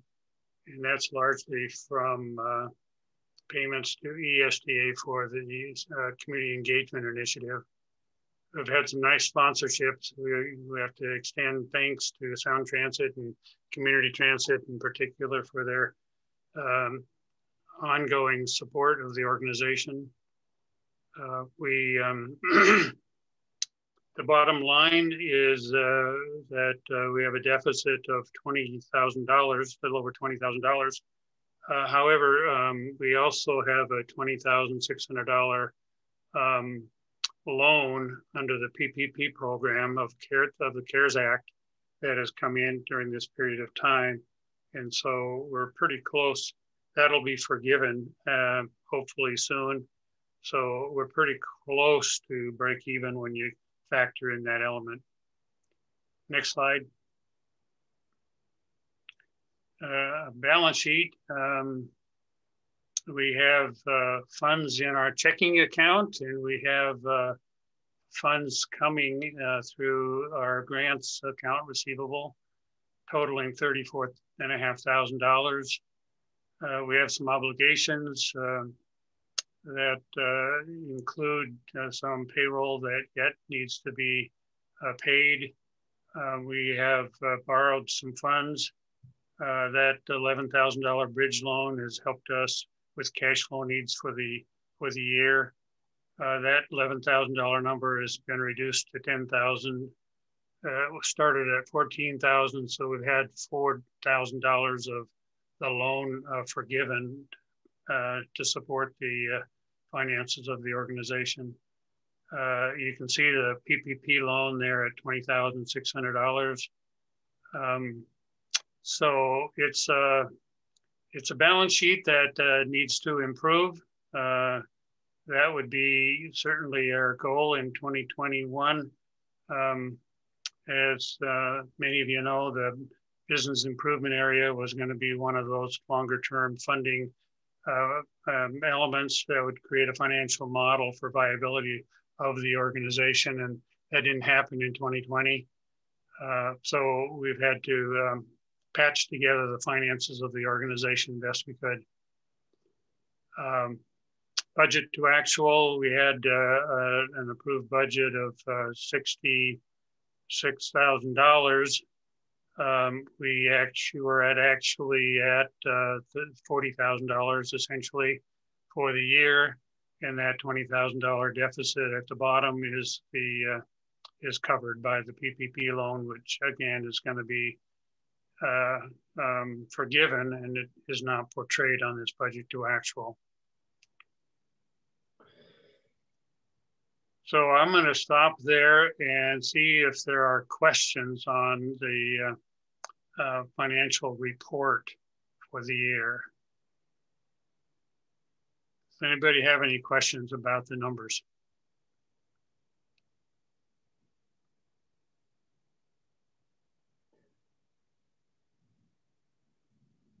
All right. So we'll move on then. We uh, again are still in COVID and we don't know how long COVID is going to last. So um, we're uh, looking at how to uh, plan for the next year.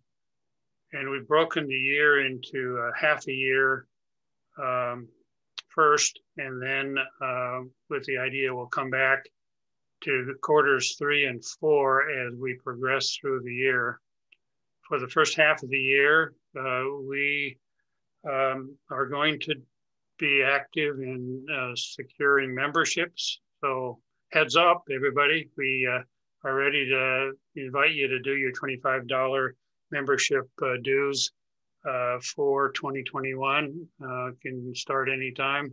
We'll be active in January to try to bring as many memberships in as we can. Uh, we also have uh, uh, continuing support in the form of sponsorships and donations that we've uh, experienced in our first three years, and we hope that's going to continue in year four, and have targeted $20,000 for that. And uh, we have uh, $10,000 of grant money lined up to support the budget. That money is going to go into part-time uh, staffing plan.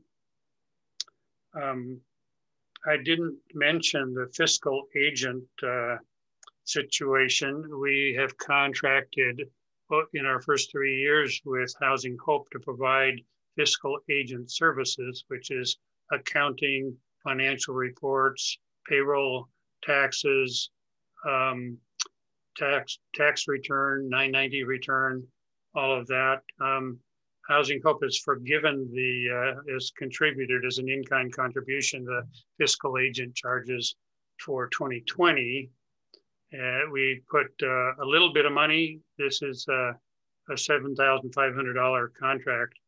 Uh, we put a little bit of money into 2021 uh, um, with the intent of you know keeping that contracting service alive we have uh, a Vista volunteer that uh, we've uh, enjoyed uh, for a year and a half now, and we have another year and a half available to us through that program at a cost of $7,500. So that's shown in the expenses um, for a balanced budget in the first half of the year of $32,500. This is uh, shared here for any comment or input or questions the membership may have. It will go to the board of directors at its January meeting for discussion and adoption. So any input that any participant on this um, Zoom call might have, now would be the time to offer your thoughts on the proposed or the draft 2021 budget.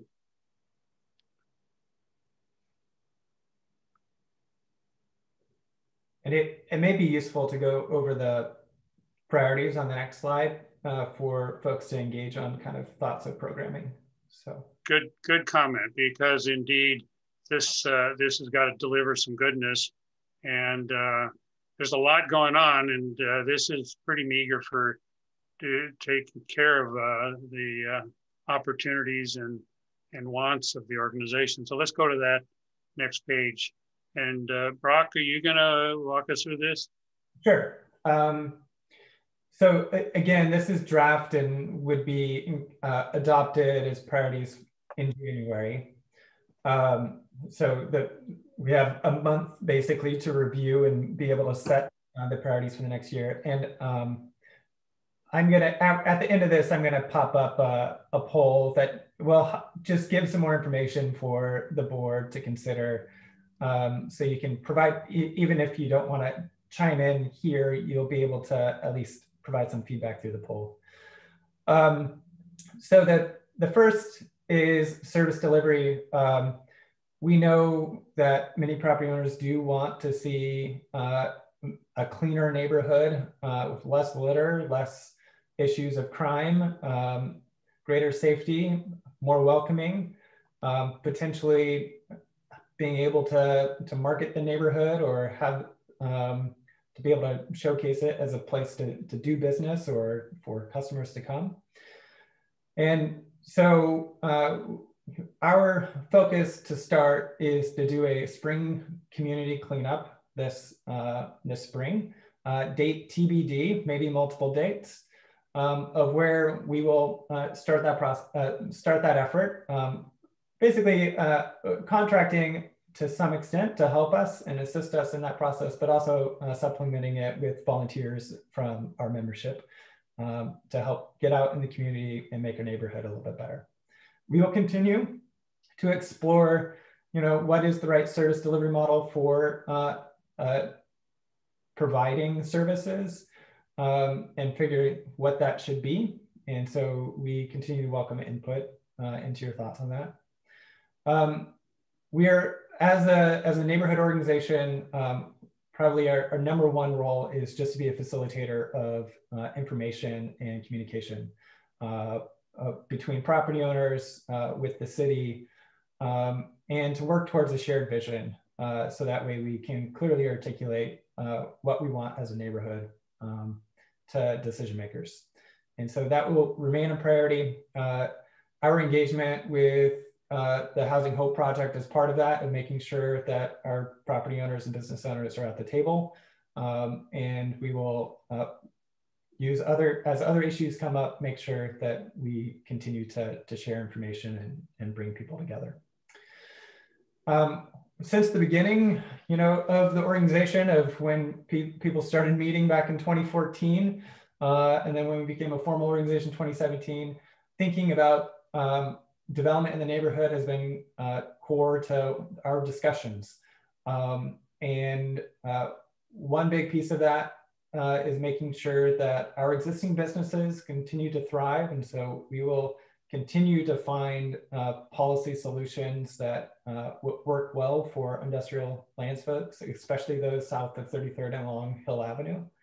Um, as well as looking towards the future. Um, we know that there's 87,000 more people that need to be accommodated in the city, uh, and we have a huge opportunity with light rail. Um, and although you know 16 years away seems like a long time, it is really not. And the the efforts for um, starting to shape what that development looks like starts this coming year with Sound Transit's EIS process, which is starting to kick off.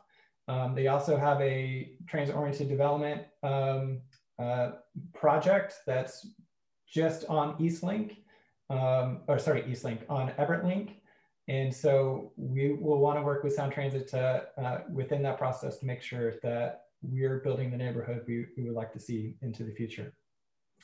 Um, and then the city of Everett is also updating its housing action plan, um, which uh, in, is branded as Rethink Housing. You may have heard of that. And we will want to make sure that um, any strategy we would like to see for infill uh, development and protecting industrial lands ends up uh, into the elements of the housing action plan. Um, there's obviously the completion and maybe continuation of the convergence study and continued involvement with that.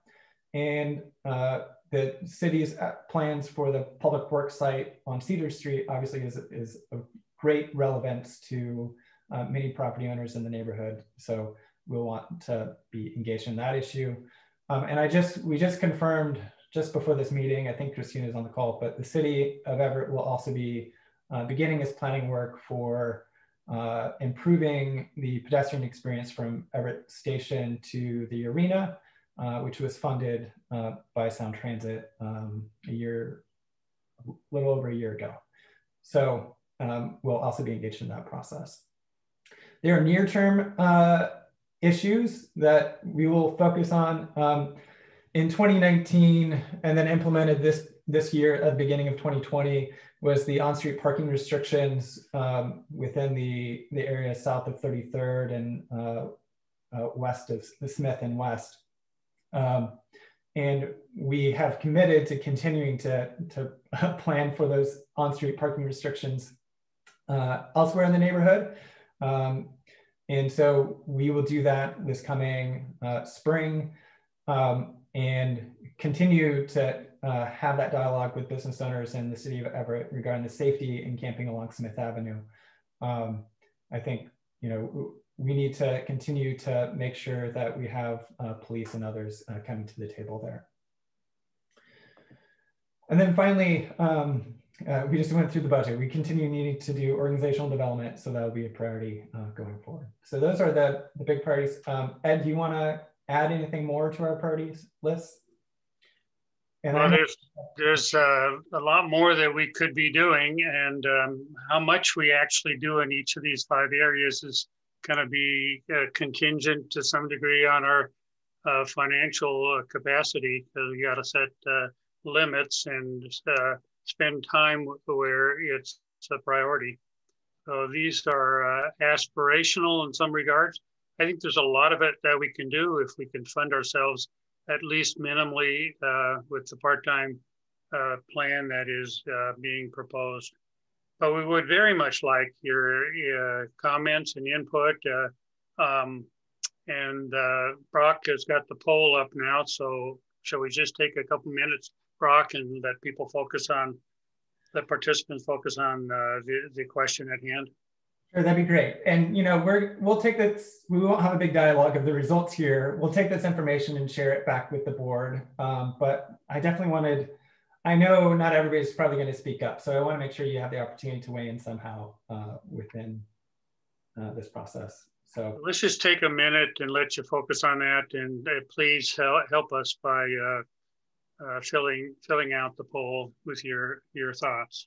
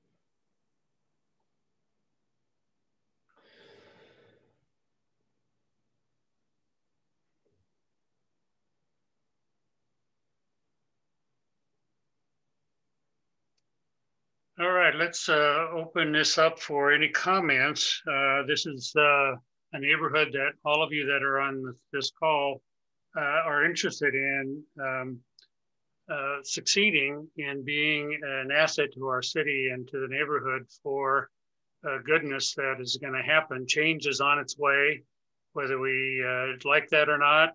Um, and uh, we're uh, interested in having a say in what that change looks like over time. And we'd like to build as much consensus as possible. We want to build as much collaboration as possible. Um, so anybody uh, want to weigh in with a comment or a question or a suggestion?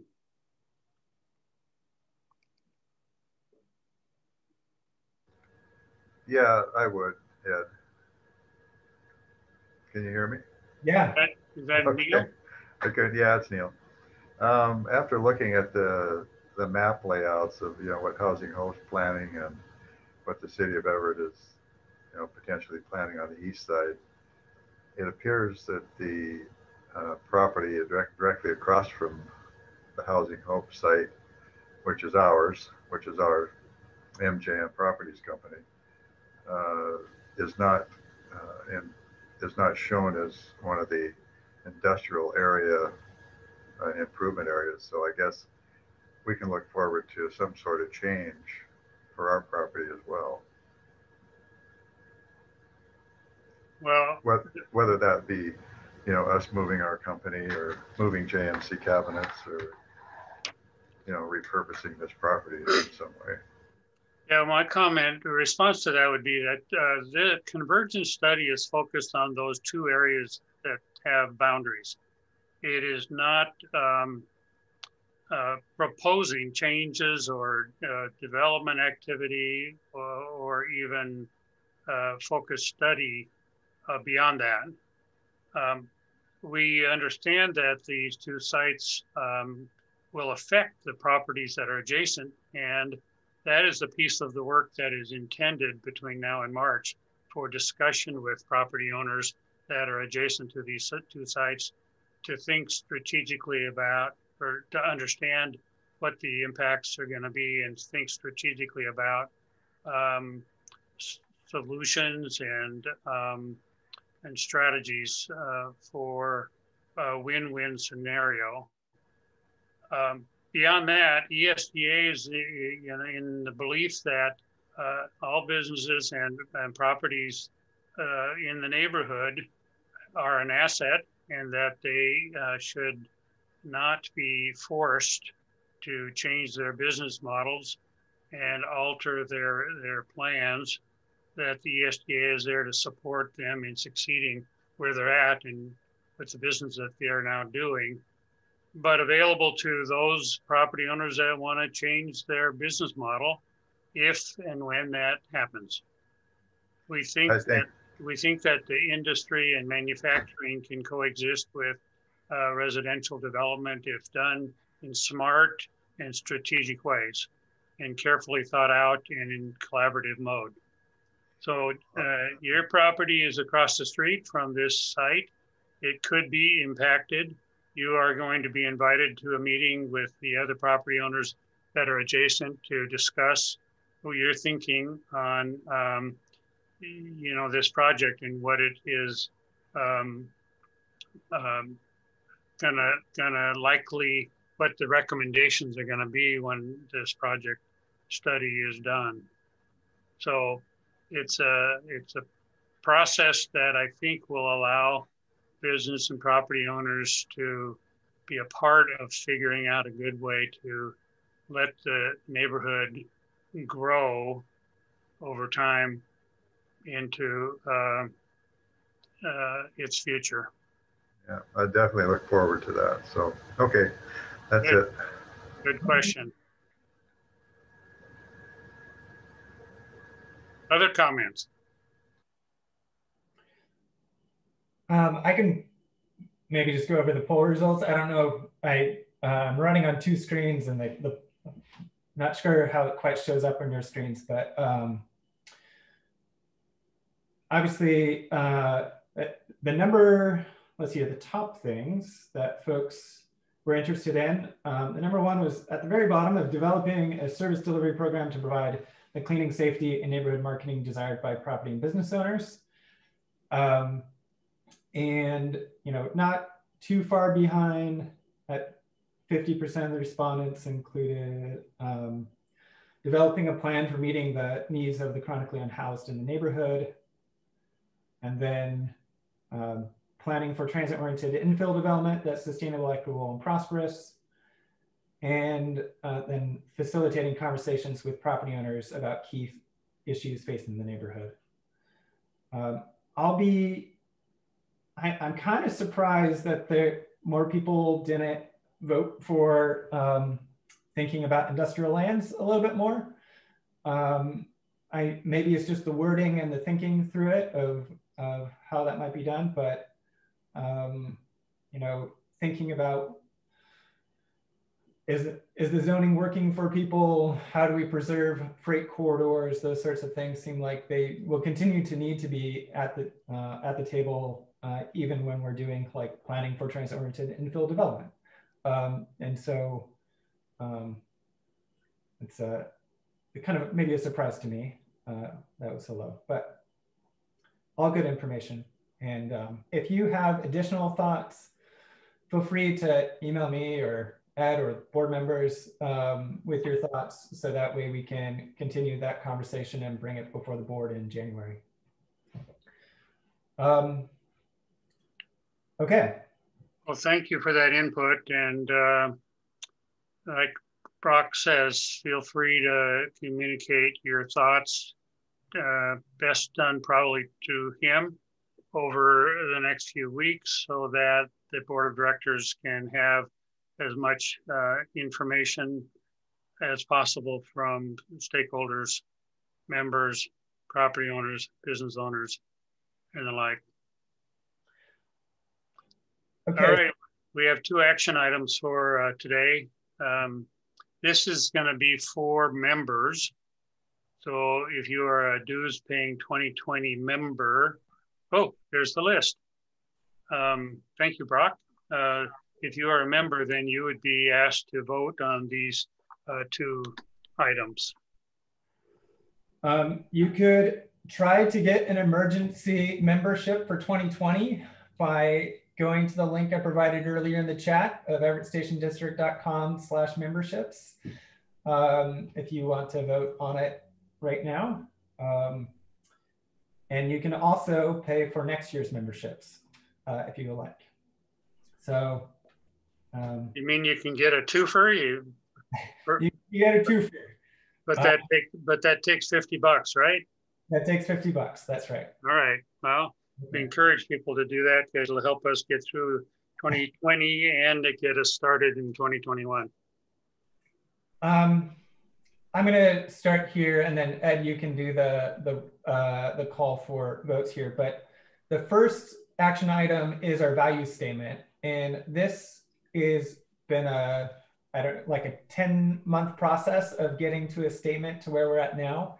Um, we adopted these three statements in June of our mission, vision, and purpose statement. We left a fourth because we felt like it needed more conversation. Um, and we did two, uh, two surveys to our membership. We had several meetings, covered it over several board meetings of what our value statement should be.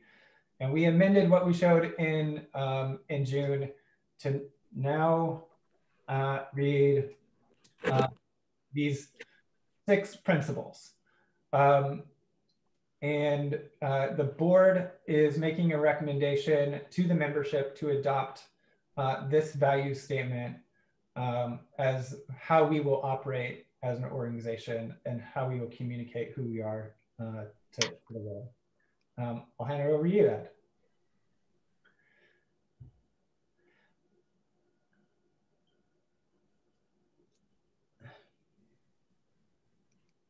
So there have been a lot of uh, proposed value uh, words that have been discussed in a series of meetings. And I think the board of directors has had this on its agenda three or four times since June.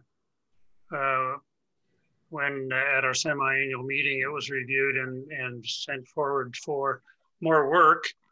Um, so I'm just going to read these um, just to make uh, it uh, embedded in our minds. So the first one is respect. We respect the opinions of all stakeholders. Stakeholders are property owners, they are business owners, they are uh, uh, commuters, um, and they are um, uh, the broader community that cares about its transit center. Uh, so there's a lot of voices, and we feel like everybody should be heard, and uh, that's um, done through respect for anybody's input. Collaboration, we achieve more by working together. We uh, started this organization because we felt like uh, the neighborhood needed a voice and that uh, working together and building consensus was the way to impact uh, the work of our public jurisdictions and um, solutions to the issues in our neighborhood. Transparency, we engage in clear, robust, and timely communication to establish a bedrock of trust and confidence. That's a very important value um, that uh, nobody is going to be trusting uh, the work of the organization unless it's transparent and can be understood. Sustainability, a healthy environment is crucial to well-being and prosperous businesses. Uh, prosperity, we support the success of existing and future businesses and people.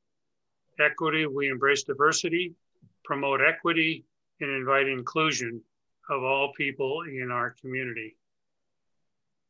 So this has been hard work of a uh, key uh, number of people in, in the neighborhood.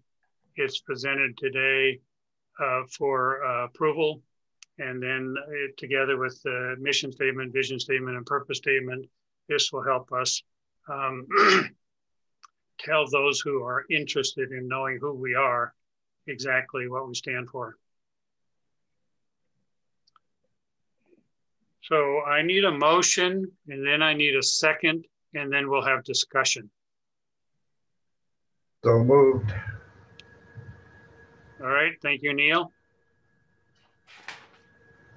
Can I have a second? Second. Christina. Yep.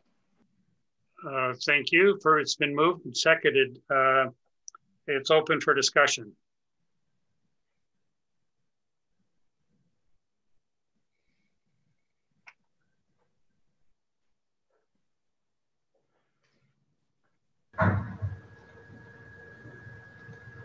Comments?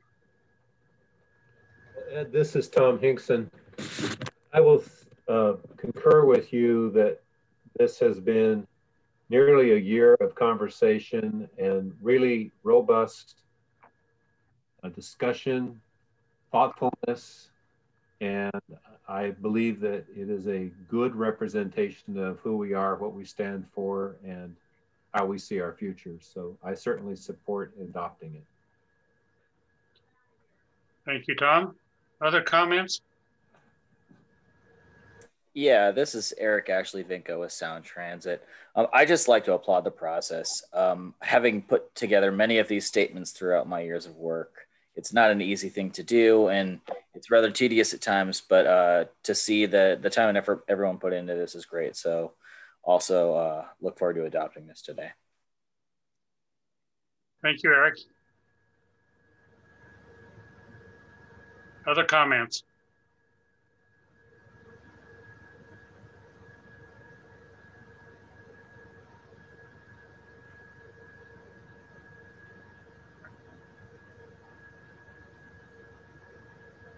Anybody else have a comment? Question? If not, then we're going to put this to the vote. Um, I'm going to ask uh, those who uh, approve it to say aye and those that uh, uh do not want to approve it to say no, or uh, you can abstain. So this is for members only. All those in, uh, in favor of approving the mission, vision, purpose, and values as presented, say aye. Aye. Aye. Aye. Aye. And anybody opposed, say no. Anybody abstaining, say so. It is uh, hereby approved by unanimous uh, vote of the membership. Thank you. We have one more slide. Uh, this is the uh, look at the current board of directors. Uh, and again, it's uh, staggered terms. So we have four members listed at the top in the top area that whose terms are expiring in 2020. There are three members who have one more year on their terms. There are four members who have two more years on their terms. There were uh, three members that were brought on for temporary to fill in a vacant uh, term uh, that are shown on the bottom. So uh, basically the four on the top whose terms are expiring and the three on the bottom, who, bottom whose initial terms are expired. And here's the list of seven, uh, seven individuals plus one addition, and that would be Lark Kester Key. Um, we've had a representative from United Way. They, their building is at the corner of 32nd and McDougall. They've been active in the organization, uh, but their executive director has moved on. And uh, Lark Kestelyn is the new executive director of the United Way. So she's been asked if she would be willing to join the board in our 15th uh, slot and um, uh, began uh, uh, serving as of January 1. So there are eight names who uh, have all agreed to serve for a new three year term. And I need a motion um, uh, motion to approve and then a second, and then I'm going to ask if there are any other nominations from the from the floor. So let's start with a motion to approve. I move to approve the slate of candidates proposed. Guy Farrell, thank you. Is there a second? I'll second. Is that Neil? Yes, it is. Thank you. It's been moved and seconded. Are there any nominations uh, from the floor.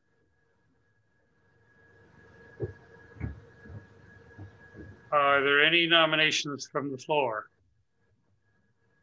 For a third time, are there any nominations for the floor? I'll therefore call the uh, nominations to a close and put this for to a vote. All in favor, say aye. Aye.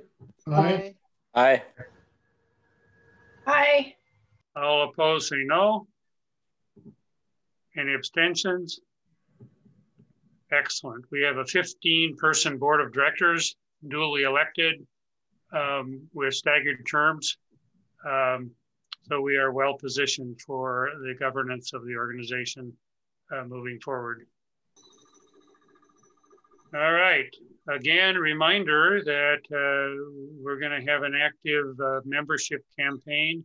If you know people in the neighborhood or uh, stakeholders interested in our transit center, um, please invite them to become members of the organization.